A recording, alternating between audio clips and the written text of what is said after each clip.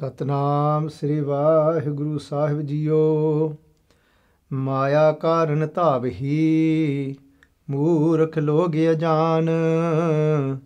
ਕਹੋ ਨਾਨਕ ਬਿਨ ਹਰ ਭਜਨ ਬਿਰਥਾ ਜਨਮ ਸਿਰਾਨ। ਵਾਹਿਗੁਰੂ ਜੀ ਕਾ ਖਾਲਸਾ ਵਾਹਿਗੁਰੂ ਜੀ ਕੀ ਫਤਿਹ। In this slok, Guru Tegh Bahadur Ji Pachi say that Maya Karan Murkh Log Jan. So this word Maya comes up very often. And in this context, in this slok, Maya can be translated to doubt. Something that keeps us in bharam, something that keeps us in doubt.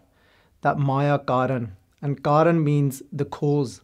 So because of this doubt, so Maya Karan Tabhi. The word tabhi can be translated to somebody that is just running around, that somebody that isn't stable. So Maya karan tabhi murakh loge jan.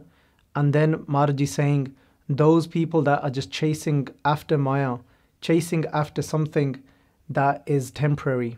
And what does it mean that something that keeps you in doubt? Meaning that's something that we think that is going to bring us eternal peace.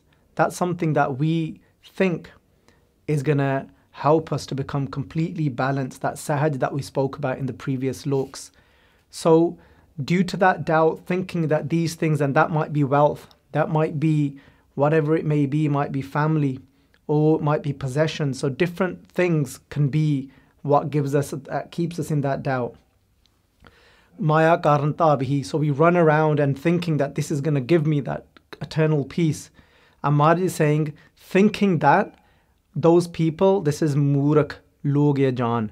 Maharaj is saying that they are Ajan. Ajan means somebody that hasn't got any understanding.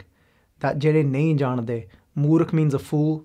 Murak Log Ajan. Those set of people, Maharaj is saying that are fools that haven't got the understanding that actually that that's not what is going to give us contentment. Kaho Nanak bin har bhajan birtha janam saran.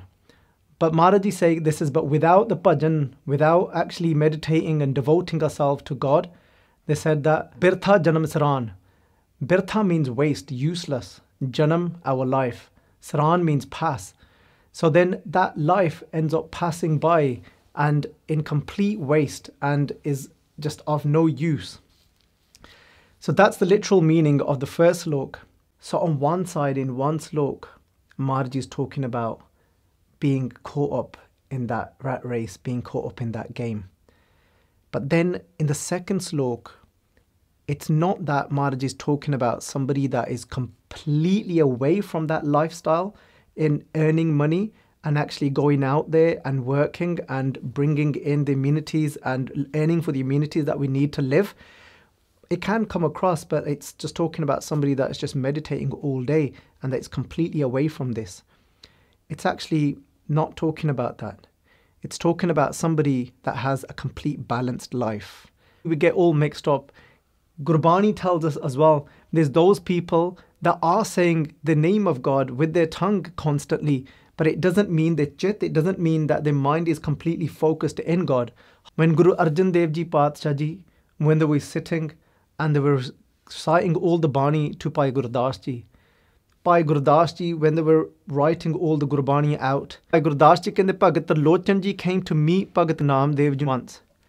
And they said that Bhagat Tarlochan Ji, they said they actually had a doubt in their mind about Bhagat Namdev Ji. They didn't actually understand what was going on when they actually met him. They wasn't expecting him, they wasn't expecting to see him in that way.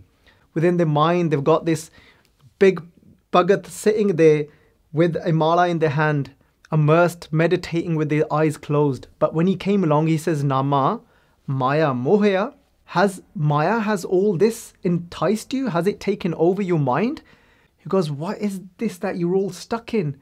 You're just here working all day and you're printing stuff on this on these sheets and this. And he goes, What about Rama? Aren't you meant to be immersing Rama into your consciousness? I can't believe what's going on here. Bhakt Namdev Ji, he said that even though you see me, that you think from the outside, I'm entangled in all of this. He goes, actually, but the truth is, I've taken care of God's name upon my tongue. He goes, don't think that I've forgotten God. Don't judge me from looking at the outside and think that what has he got caught up in? Because actually, he goes, God is upon my tongue and not just upon my tongue, but whenever I'm dealing with these clothes and sheets, when I have to talk to people, I don't forget God.